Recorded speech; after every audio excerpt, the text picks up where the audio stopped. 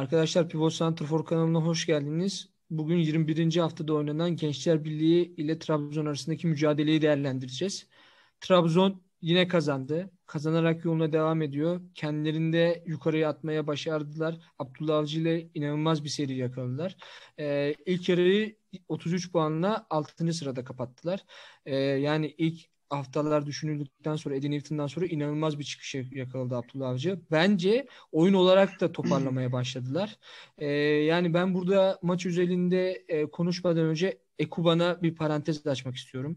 Bir gol bir asist yaptı. Ekuban gerçekten yani geçen sene mesela bu takım için Envakame çok konuşuluyordu. Vakame takımın motoruydu. Takımı çalıştıran adamdı.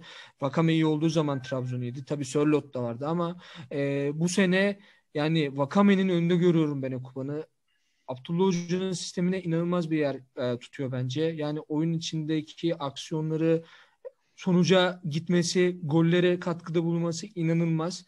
E, Ekuban bence e, bu haftanın parlayan yıldızıydı. E, size top atmadan önce ufak bir Gençler Birliği'ne de değinmek istiyorum. Yani Gençler Birliği küme düştün. Hayırlı olsun. Yani bu kadar kötü futbol, bu kadar yani anti futbol nasıl beceriyorsunuz? Nasıl yapıyorsunuz? Gerçekten bilmiyorum. Yani gerçekten çok kötü bir takım. Yani ne kadar transferle toparlayabilirler bilmiyorum. Hani ileride Stanku'yu falan da soktu hoca. Biraz Stanku falan toparlamaya çalıştı ama gerçekten sadece Stanku'yla olabilecek bir şey değil yani bu. E, acil transfere ihtiyaçları var. Transfer yapmazlarsa bence ligi sonuncu tamamlayıp küme düşecekler. Deyip topu e, önce Niyazi'ye atayım. Batu toparlayıp e, şey yapar kapatır. Cavcav istifa sesleri çok fazla duyuluyor zaten. Ee, orada bir karışıklık var. Takımda bu haldeyken ee, yeni transfer yapmadan yapmayacaklar sanırsam. Hiç kimsenin adı geçmiyor. Bir şey yok. Bir transfer şeyleri kapalı mı acaba? Hani onu düşündürüyor ama öyle de değil. Ee, bir herhalde başkanlık içinde bir sıkıntı var. E, ayrıca de hocanın da değişmesi lazım. Bu takım 19 puan almış. 3-4-5 haftada da puan almıyor. 19 haftayla hala düşme potasının üstünde yani tam oralarda geziyor. Demek ki bu takım bir şey yapabilmiş zamanında. Bir şeyler getirebilmiş. Geçen sene de mesela çok kötüydü. İlk dediğim şey 5 hafta gol atamadı bu takım neredeyse geçen sene. Puan alamadı. Sonra e, Hamza Hoca'nın gelmesiyle takım kendini buldu. Stanku'nun bir şeyler yapmasıyla ligde kaldı. Çok rahat ligde kaldı. Yani çok transfer de yapmadı devre. Bu sene e, belki bir Bayyano'nun gitmesi, e, onun yanına da Berat'ı tutması, ikisinin beraber gitmesi orta sahayı düşürdü biraz. E, Sefa ile falan olacak iş değil yani o taraf. Orta saha biraz sıkıntısı var. Yerine birilerinin alınması lazım. E, alınmıyor. E, alınmıyorsa birilerinin dört takımdan birinin artık düşüp e, diğer e, takımların birazcık rahatlaması gerekiyor. O herhalde e, bir Gençler Birliği olacak gibi gözüküyor şu an. Evet. Gençler yani Birliği Berat, açısından bunu söyleyebilirim. Berat ne kadar büyük bir boşluk açtıysa Gençler Birliği'nde bence Trabzon'da da o kadar büyük bir boşluk doldurdu. Maçta gayet iyi gözüktü. Onu yeri gelmişken söyleyeyim. Trabzon'da da iyi bir transfer. Yok iyi iyi bir oyuncu zaten. Ee, ama işte Trabzon Trabzon ya bir şey diyemeyeceğim ya. Abdullah Avcı'nın sistemini sevmediğim için diyemeyeceğim ama kazanmaya devam ediyorlar. Yani sonuçta puan önemli. 3 puan önemli. Sonra 3 puan alıyor. Yani Abdullah Avcı 2 puan üstü bir puan ortalaması var şu an Trabzon'da. Ee, 2-1 yendiler. Ee, daha fazlası da olabilirdi belki. Ee, ama mesela Trabzon'un da e, bir şey var. Hiç transfer haberi falan duymuyorum abi. Yani transfer ihtiyacı var Trabzon. Ama duymuyorum. Bir sıkıntı var. Yani hiç söylenilenlerin hiçbiri gelmedi. Gel yani gelecek bence mi? Bence şöyle bir şey var Trabzonspor'da. Bu sene çok fazla yarışın içinde olamayacaklarını bildikleri için hani Ama böyle daha mesela mesela Pereira'yı da gönderdiler. Mesela yani Ama orada Serkan Aslan'la devam etmek yani. istiyor. Yani bence biraz daha hoca elindekileri görüp seneye ona göre bir kadro kurmayı düşünüyor. Hani böyle almak için adam almak istemiyor gibi geliyor bana. Mesela bir Papu Gomez falan geçiyordu. Papu Gomez çok iyi olur bu takıma ama yani bence maddi olarak çok zor.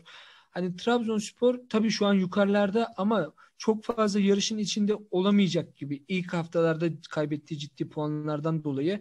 O yüzden bence Abdullah Avcı da elindeki kadroyu böyle bir değerlendirip Ona göre bir, bir sonraki senenin takımını oluşturmak istiyor. Onun için bence transferde o kadar aktif değiller.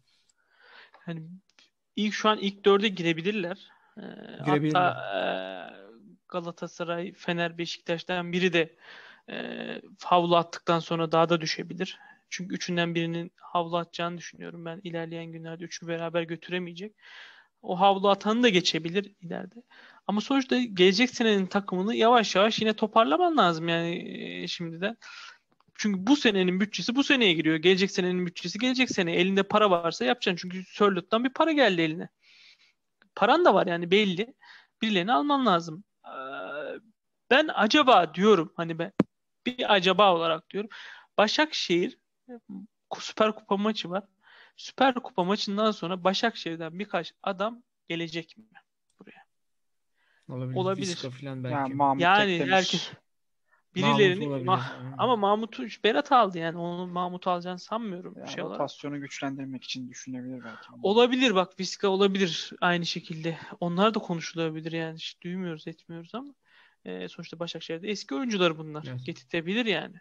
E, göreceğiz.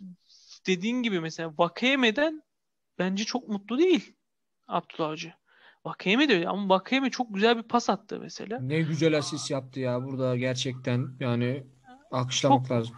Çok durağan oynuyor. O da hoşuna gitmiyor bence hocanın. Zaten yavaş oyunu daha da yavaşlatıyor. Ama yerine koyabileceği adam da yok. Yusuf Sarı'yı falan mı koyacak yani öyle olmadığı için de işte acaba Viska Miska'ya bir şey olabilir mi? Olursa gerçekten güzel olur. İlk de biz duymuş duyurmuş oluruz yani. Trabzonspor'a ait son dakika gelişmeleri Pufo Santrafor'da. Aynen. o zaman buradan topu Batu'ya atalım. Batu senin genel yorumun e, maç için hem de Trabzon için nedir?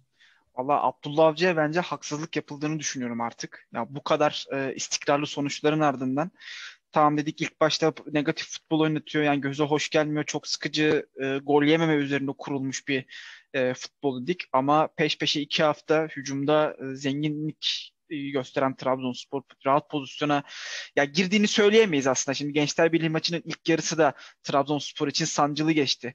Ee, rakibin durumu ortadayken yani knockout olmuşken e, Gençler Birliği e, sezonun ilk yarısı için e, o beklenilen coşkuyu pozisyon zenginliğini ilk yarıda e, gösteremedi. Ama tamamen topun hakimiydi. Yani Berat gerçekten cuk oturmuş takıma. Orta sahadaki e, bütün pas alışverişlerinde vardı. İlk yarıda temposu çok yüksekti Berat'ın. Yani Abdullah Parma Abdülkadir Parmak'la e, iyi bir ikili oluşturdular orada. Dinamik bir orta saha oluşturdular. E, parmak da çok iyi gözüktü. Parmak da iyi gözüktü. Parmak evet yani maç. maçta slowlanları falan bayağı o ilk e, pat, patlama yaptığı günlere dair güzel şeyler verdi, sinyaller verdi. Abdülkadir Parmak'ta. Ya Trabzonspor bundan sonraki haftalarda ömrün yokluğunu çok arayacak bence. Ya Vakayeme dediğimiz gibi çok durağan oynuyor ama top ayağına geldiği zaman işte kesemiyorsun adamı yani. Kulübede oturtamıyorsun. Yani o Ekuban'a yaptığı asist e, al dedi at. Yani mükemmel ölçülü bir pas. Hakikaten o topun dibine girişi falan yani muazzam. Türkiye'de kaç tane oyuncu? Bir Gezzal belki yapabilir Beşiktaş'ta. Ya bilmiyorum Galatasaray'da falan o derece bir pas atabilecek Feguli adam bence de yok. yapar. Ya Arda hani ben Arda'yı bir tık daha öne koyarım Feguli'den de. Ya zor ya yani atamaz ama Envakame bunu her sezon e, 3-4 kere falan yapıyor böyle asistler. Ee, ama yani o yaşlılığının da etkisini görüyoruz yani karşı karşıya kaldığı pozisyonda ya o e, geçen seneki şeyliği yok. Böyle atikliği yok. Ya artık antrenmanlarında mı o şeyi veremiyor bilmiyorum. Ama tabii Trabzon halkının da ben ya. memnuniyetsizliğini anlıyorum e, bu maçlara baktığımız zaman. Ünal Karaman'la o Yusuf Yazıcı, Abdülkadir Ömür, Hüseyin Türkmen hani o Trabzon'un evlatlarıyla kurduğu o muhteşem şey oyun. Coşkulu oyun yok. Coşkulu oyun Coşkulu yani. oyun yok coşku yok şu an Trabzonspor'da. Yani oyunculara baktığın zaman böyle bir hırs, bir e, şey görmüyorsun. Adanmışlık görmüyorsun. Ama ne görüyorsun? Taktik disipline sonuna kadar bağlı. Herkes oyunda ne yapmasını bilen. İşte o Abdullah Avcı'nın meşhur sözü var ya parselizasyon. O Beşiktaş'ta da yapmaya çalıştığı parselizasyonu Trabzonspor'da çok net görüyorsun ve bence Trabzonspor yani yukarıyı hedefliyorsa bu maç önümüzdeki maç onlar için çok kritik yani Beşiktaş maçı. Ben Abdullah Avcı'nın da yani bu tarz hırsları var mıdır bilmiyorum ama kendi içerisinde. Ya Beşiktaş maçına böyle bir Olabilir. ekstra ekstra hazırlanacağını düşünüyorum. Yani hem kendinden sonra gelen teknik direktör Sergen Yalçın'ın o aynı kadroyla hemen hemen aynı malzemeyle göstermiş olduğu performans hem de e, yani taraftarın ona olan tepkisinden dolayı böyle bir e, ekstra hazırlanacaktır bence ve Olabilir ben de ee, katılıyorum. ya Trabzon'un bu sezonki hedef maçlarından bir tanesi olacak haftaya. Ve bence yine akıllar birazcık da oradaydı Abdullah Avcı'nın. Yani Gençler Birliği'ni birazcık e, rahat bir galibiyet olarak görmüş olabilir ki oyundan da anlay- anlayabiliyorduk bunu. Yani Rölanti'de oynadı. Gerektiğinde e, şeyler, silahları sahneye çıktı. Maçalar ya ben Canini'yi anlayamıyorum. Yani Trabzonspor'da. Bilmiyorum siz ne düşünüyorsunuz ama yani NDI'den bir farkı yok bence ama e, atıyor ya. E, Yani, skor yapıyor. Evet skor yapıyor ama çok etkisiz geliyor bana. Trabzonspor'un mutlaka santrafor alması lazım ve Abdülkadir Ömür'ün yerine de sağ kanatta artık Vişça mı olur, başka bir adam olur mu bilmem. Yaratıcı bir oyuncu alması gerekiyor. Tamam. Trabzon dosyasını kapatmadan önce Trabzon'un hafta içi Başakşehir'le bir Süper Kupa maçı oynayacak. Bence yani oradan bir kupayla dönerlerse Beşiktaş maçına gelip orada da yani bence oranın e, Süper Kupayı kazanmış olmanın verdiği coşkuyla Beşiktaş'a karşı çok farklı Allah oynayabilirler. Kupa'nın Ee, yani Galatasaray maçında- Trabzon bu arada. Bence de. Bence de. Galatasaray maçında mesela çok iyi bir sınav veremedi Abdullah Avcı. Bakalım Beşiktaş'a karşı nasıl bir sınav verecek. Ee, ama bence Trabzonspor e, yani oynaması gerektiği gibi puanları toplayarak bir yere geldi. Bundan sonra da hocanın e, oyunu yükseltmesi gerekiyor deyip e, Trabzon dosyasını kapatalım. Arkadaşlar videoyu beğenmeyi ve abone olmayı unutmayın diyoruz. Görüşürüz.